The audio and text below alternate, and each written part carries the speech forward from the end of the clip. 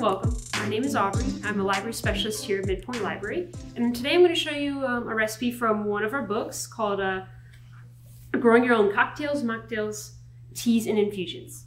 And I'm going to just start off with the recipe, just infused water, very simple. Um, and this for this recipe it calls for a cup of strawberries, and I'm going to slice those in a moment.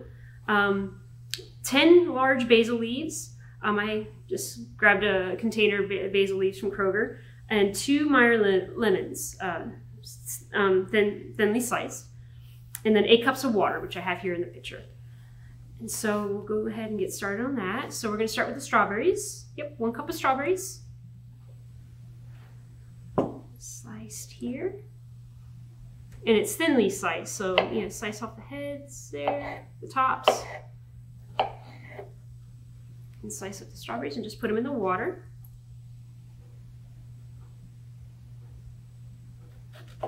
Slice off the green tops and then slice them.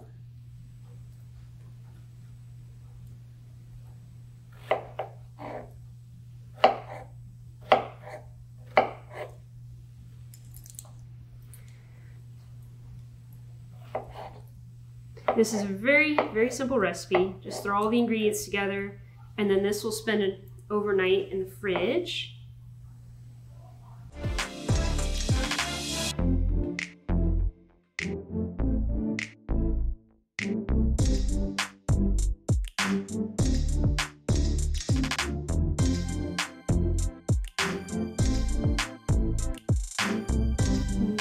We got all our strawberries cut. I'm just gonna throw my trash in here now. And then we're gonna just chop up the uh, basil leaves. Doesn't have to be perfect, just chop them up and throw them in there. You're just infusing the flavor in the water. Make sure to remove stems and things.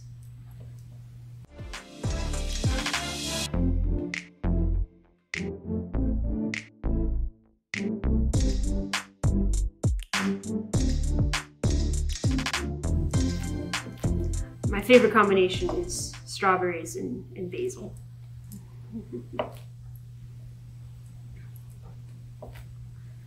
Years ago, I discovered a jam that had that had strawberries and basil, and I haven't been able to find it again, but it was very, very good.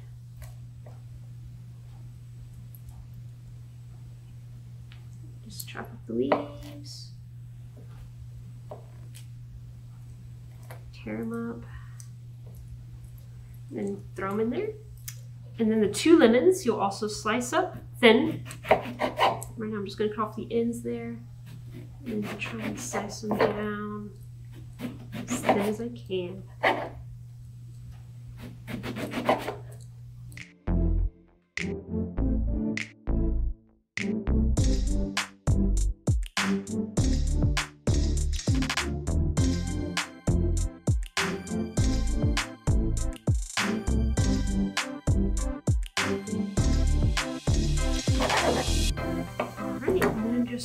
Those lemon slices in there as well.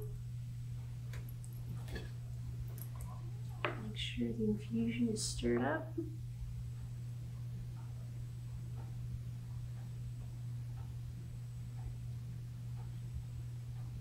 There we go.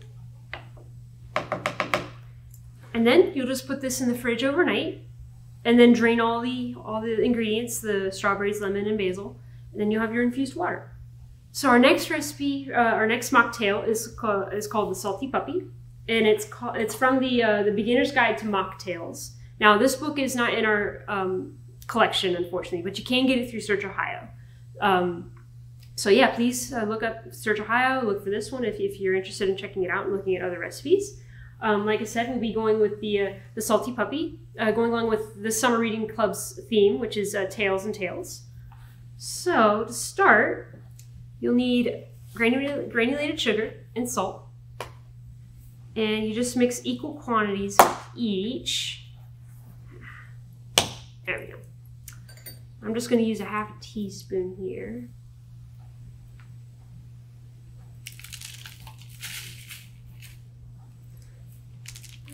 one more. There we go. Because then you're just going to mix them into a saucer or a paper plate or something. Doesn't actually go into the drink. So yeah, just mix equal quantities of salt and sugar.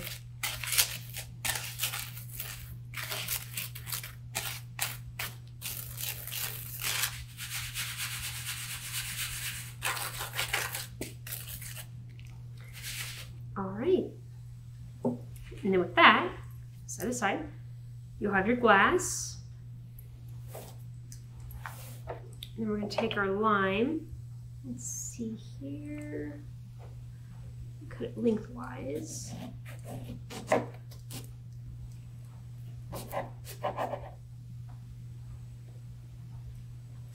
And I'm going to cut a wedge from it. Oh, this one's really juicy. Okay. Take a wedge of lime here. Just get the rim.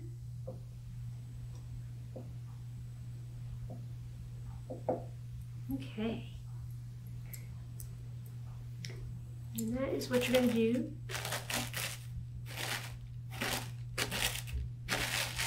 Yep, and just coat the rim in the salt and sugar mixture. And then you'll need your cracked ice. So let's see here. I have here.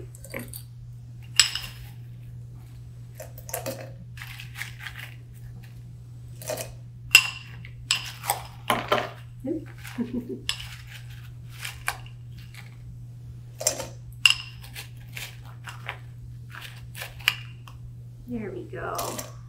All right. Put That aside. A little bit of ice there.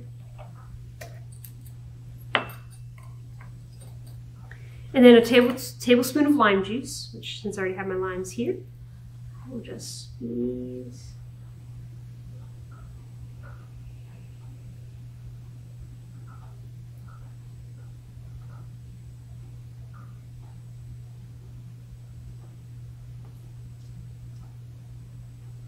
There we go. Trying to get as much of those juices as possible.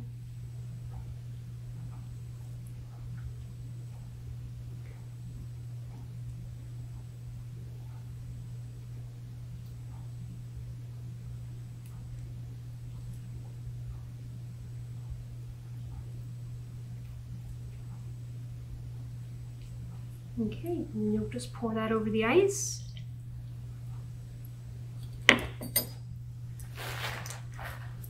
And then you'll take grapefruit juice and top it off.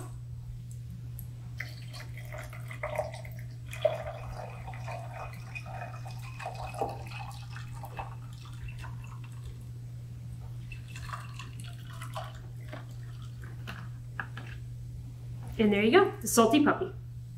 So our next recipe is the strawberry mule. Once again, it's from the, the same book as the previous, The Bartender's Guide to Mocktails. And like I said, you can get this through Search Ohio. Um, but yeah, we're going with the strawberry mule.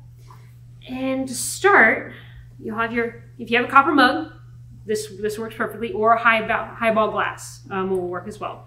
But we're gonna start with three strawberries that we're just gonna muddle at the, at the bottom of the, of the um, of the cup. So I'm just gonna cut off the tops here and throw them in and then mush them up a little bit with my wooden spoon.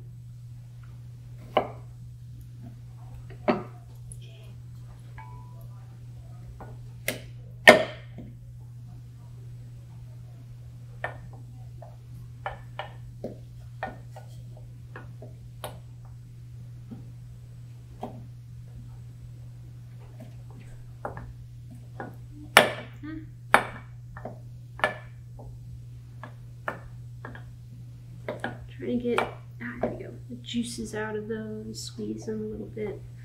Yeah, you're muddling them at the bottom of the glass. There we go.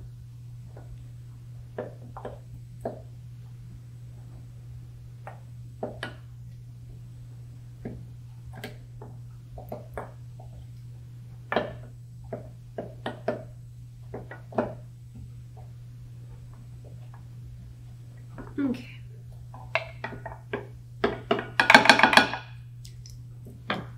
right, let's put those aside for now. All right. And then we're gonna need a fourth a cup of uh, the pineapple juice. So I have some here. All these ingredients you can find at your local Kroger or local grocery store. So yes, a fourth cup. Fourth cup of pineapple.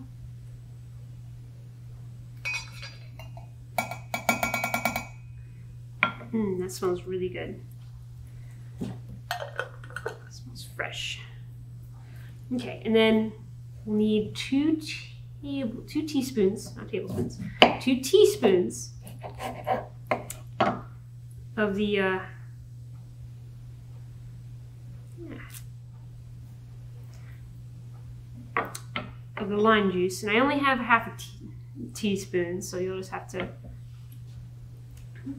Hopefully, you have a teaspoon at home. I'm just gonna try and probably use this here to catch any juices that I miss. Yeah. So I have to add four of these rather than just two. Somehow we lost our teaspoon. Okay.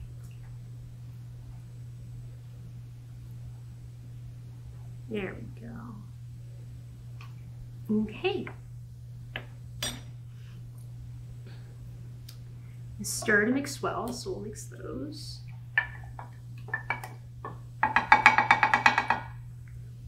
Okay. Okay, and then you're gonna add your ice cubes, fill the mug. Just make it really nice and cold. Copper really, really retains the cold. It says here to fill the mug with the ice.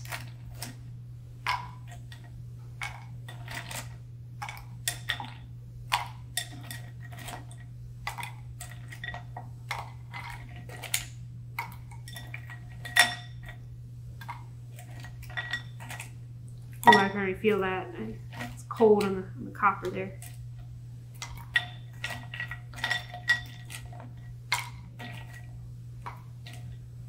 And I am going to try and fill this up to near the top, but not too much. You still have to add a half a cup of the ginger beer.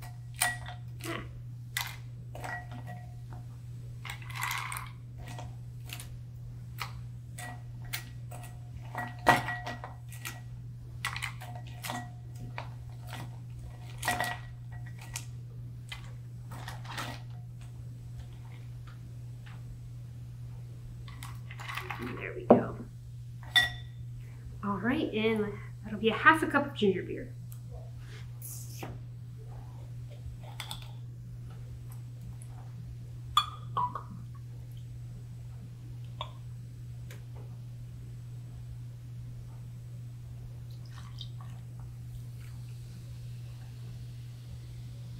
Oh yeah, perfect. Didn't overdo it.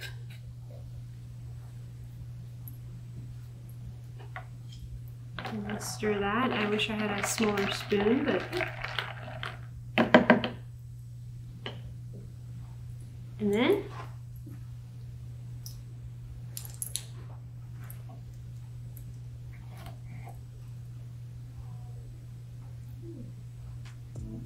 Top it off with strawberry.